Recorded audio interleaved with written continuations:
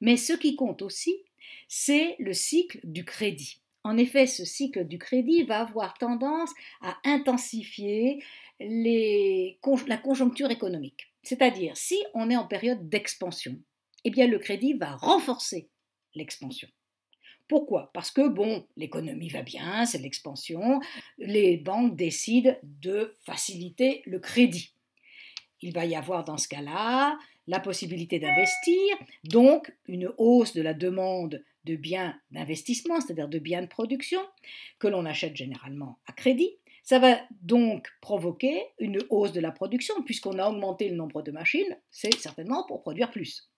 De la même manière, si le crédit est facile, il va y avoir une hausse de la consommation. Pourquoi? Parce qu'une partie de la consommation, elle se fait à crédit. Un certain nombre de choses s'achètent à crédit.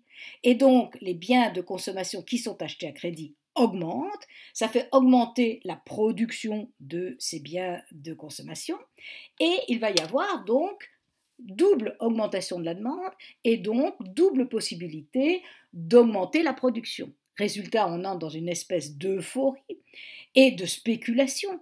Les banques vont décider de continuer à augmenter encore les facilités de crédit jusqu'à atteindre finalement des personnes qui sont peu aptes à rembourser ces crédits et on arrive là à des bulles spéculatives. La plus grande bulle spéculative a été le crack des subprimes, c'est-à-dire que les banques américaines avaient prêté à des ménages qui étaient incapables de rembourser, mais avaient prêté pour qu'ils construisent des maisons, des appartements, qu'ils en achètent. Et le résultat, ça a été à un moment donné, donc l'incapacité des derniers à avoir reçu des crédits à rembourser. Et cela, ces bulles spéculatives, elles amènent au crack. Et le cycle du crédit, peut effectivement déclencher des cracks. Pourquoi? Parce que dès que la période de récession apparaît, le crédit renforce la récession. Comment? Eh bien, comme il est face à des difficultés de remboursement, qu'est-ce qui se passe? Les banques euh, tiennent quand même à faire des profits. Donc, elles vont augmenter les taux d'intérêt et diminuer les offres de crédit puisqu'elles s'aperçoivent qu'il y a un certain nombre de demandeurs de crédit qui ne sont pas capables de rembourser. Et on va arriver à ce qu'on appelle un crédit crunch, c'est-à-dire un manque de crédit.